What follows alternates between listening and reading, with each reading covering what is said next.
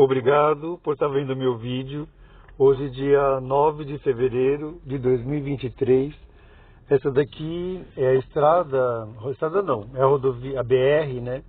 116, é Santos Dumont. É, Rio, e ela faz parte da Rio Bahia também. Eu saí de Governador Valadares e agora eu estou em Águas Altas, Cachoeira do Pajeú.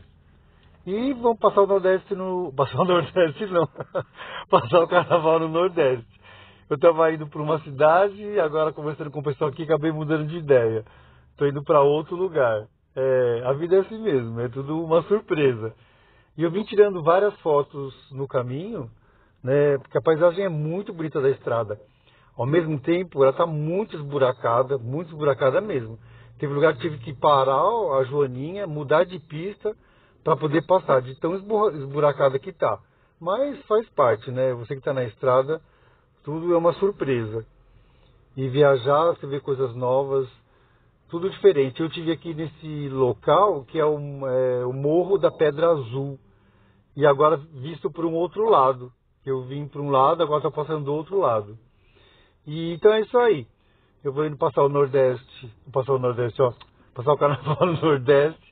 Depois aí sim vou fazer os vídeos sem ser de fotos. Isso aqui é só uma, uma réplica da estrada. Fotos do, da Rio Bahia. E lá em cima eu faço o vídeo, vídeo mesmo, né? Não um vídeo com fotos. Tá bom? Obrigado por seguir meu canal.